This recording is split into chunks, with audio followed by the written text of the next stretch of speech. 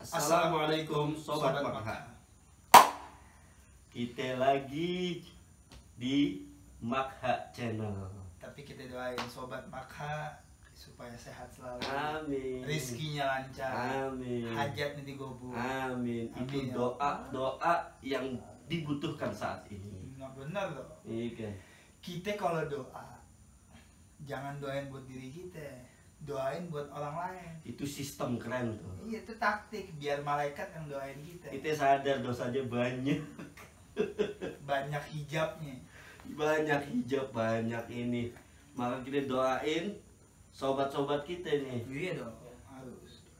Semoga sehat selalu. Dan kembalinya ke kita. Amin. Kembalinya ke kita. Gimana Tan? Ini di bulan Syaban ini. Iya. Mantap Allah. Bulan Nabi Muhammad Bulan SAW Allahumma salli wa sallim wa barik alaih. Bulan memperbanyak sholawat kepada Nabi Muhammad Oh. SAW Kenapa kok harus memperbanyak sholawat?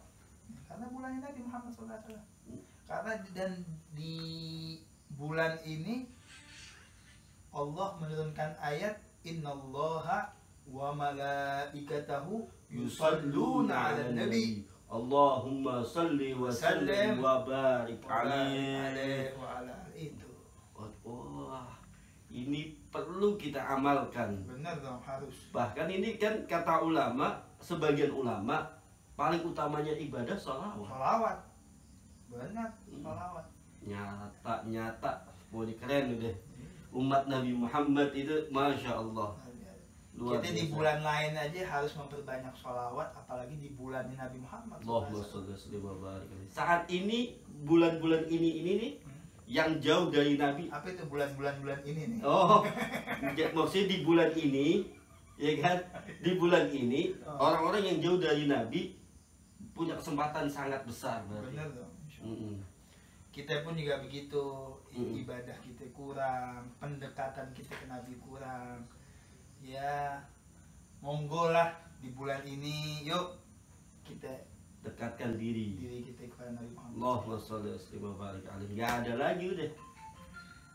Amal kita zong. Ini kan zong. Udah kita sandarkan ke Nabi Muhammad sallallahu alaihi wasallam. Bahkan juru selamat kita Nabi Muhammad Allah, dunia akhirat. dunia akhirat. Masya Allah. Bahkan gak hanya itu Habib.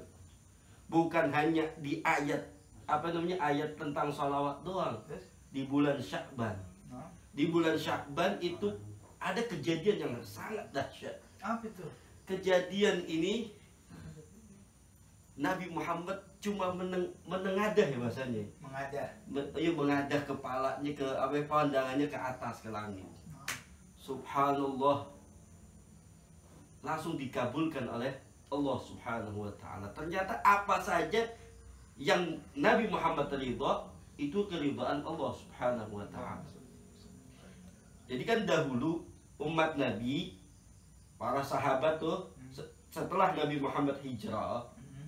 itu diperintahkan ngadep kiblatnya ke Baitul Maqdis. Mhm. selama ada yang mengatakan ulama itu 17 bulan 3 hari. Oh, 17 bulan 3, 3 hari. Umat Islam waktu itu sholat me- menghadap Baitul Maqdis. Yang sebelumnya ke Ka'bah. Ka'bah. Tatkala Nabi belum hijrah belum pindah dari Mekah ke Madinah Ya. di Mekah Nabi dan umatnya Mhm. hadapnya ke Ka'bah Ya. tapi setelah pindah diperintah ke Baitul Stay di Madinah stay di Madinah baru menghadap Men- menghadap kiblatnya ke Baitul Maqdis selama 17 bulan, tapi Nabi pengennya Hmm. pengennya Nabi kiblatnya Nabi Allah Ibrahim dijadikan kiblatnya umat Islam. Cuma begini loh menengadah apa bahasanya? Ke langit. langsung dikabulkan. Ini Habibullah. Nyata Habibullah. Maka kalau kita punya kesempatan kita punya keinginan udah ketuk Nabi Muhammad biar Nabi Muhammad ber- minta langsung sama Allah Subhanahu wa dan taala. pasti dan pasti terkabul kalau Pasti dikabul. Tapi begini saat tapi begini saat ini pengen alat maaf minta Hmm. maaf nih motong-motong. Tapi kan banyak orang Hmm. saudara-saudara kita yang memahami bahwasanya kiblat pertama umat Islam itu Baitul Maqdis. Inilah. Ini ilmu nih luar ini biasa. ilmu.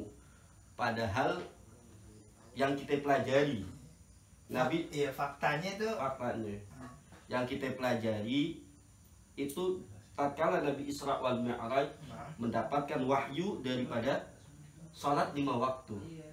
Dan Nabi diperintahkan menghadap kiblat ke Ka'bah.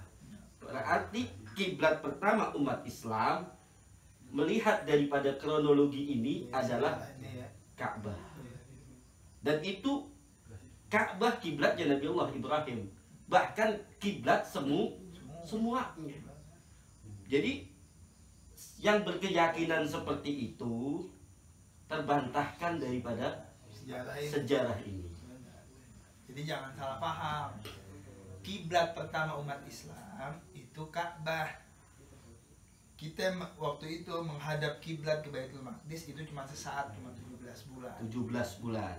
Sekitar segitu saja. 17 bulan 3 hari sekitar segitu dah. Ada yang mengatakan 16 ala kulihal deh begitu. ya namanya apa namanya? Pendapat ulama kita hormati semuanya. Yang penting kita jangan mencaci kan? Benar. jangan mencaci. Jadi kita di- tidak diajarkan oleh nabi yang mana sholawatnya dianjurkan diperbanyak di bulan ini. Nggak pernah diajar kita diajarkan untuk mencaci oleh na- Nabi Shallallahu Alaihi Wasallam. Perbedaan itu suatu apa namanya?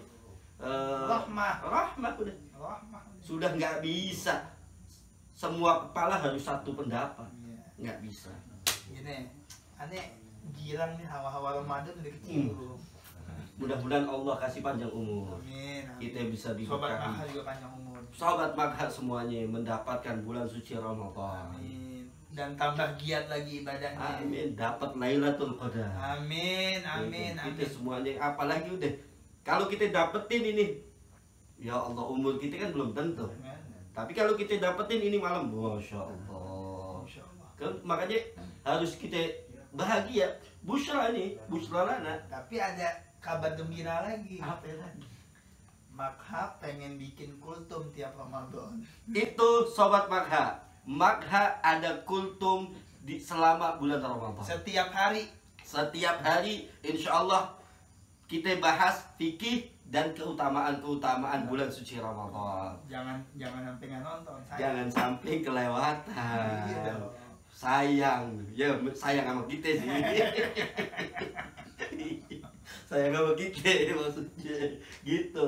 Ini paling membahagiakan nih. Makanya kecium udah belum belum Wah. Nikmat bener. Kecium ada dan di girang saat biasanya kalau di media-media di TV itu udah mulai ada sirup-sirup tuh sirup Syekh Ali Jabir Syekh Ali Jabir Allah yarhamu ya Allah itu masya Allah ya Allah. Masya Allah orang baik. Insya Allah beliau itu eh, apa namanya tausiahnya sangat bermanfaat. Amin. min ahlil jannah Min ahli jannah amin amin. Insya Allah dengan berkat bulan ini dapat rahmah daripada Allah Subhanahu wa taala. Jadi itu apa namanya tadi disebutkan bahwasanya 17 17 bulan Habib. Jadi Nabi Muhammad nyampe ke Madinah Hmm. itu hari Senin, ya. Tanggal 12 Rabiul Awal malam. Masya Allah malam. Nyampe nya hari Selasa. Eh apa namanya? Eh, bukan nyampe nya dipindahkannya itu kiblat di hari Selasa. Pertengahan Syakban nisfu Syakban jadi nisfu Syakban itu momen perpindahan kiblat juga. Selain momen malam yang mustajab. Dikit lagi nih. Dikit lagi. Makanya kalau kita dapetin ini malam waduh hajat-hajat kita mudah-mudahan ya Allah maka ini ya kan menjadi barakah kan? Jadi barokah manfaat manfaat. buat yang nonton buat kita juga insya Allah. Amin amin amin. Jadi apa namanya apa yang perlu kita siapkan menuju ke bulan suci Ramadan ini Ya, nanti dong Hah? nanti kita oh bahas pakai ini gini iya oh tanda tanya nih nanti santai. maka setia aja sama makha ya sobat santai santai Oh gitu. Jadi ini yang membahagiakan. Ini Habib senyum senyum baik. Senyum senyum mulu. ada bahagia Oh, pertama bahagia bulan Nabi Muhammad Allahu dikit lagi mau Ramadan bentar lagi Ramadan. terus insya Allah THR ada lagi ya? Nah, jadi ya. mudah-mudahan ada. Ya. Mudah-mudahan ada. Iya, iya. Dan juga nih bahagianya pengen bikin konten kultur. Kultur mudah-mudahan jadi apa namanya ladang amal kita dah. Amin. amin. Hmm. Udah. Udah. Mungkin nggak harus panjangan ya sobat makai ya. Iya. Intinya apa kita mau kasih kabar gembira, ya kan? Kabar gembira untuk sobat makai dan untuk kita semuanya juga. Ya, mudah-mudahan manfaat jangan lupa subscribe. Terus ingat like comment and share. Wassalamualaikum sobat makan. Hmm.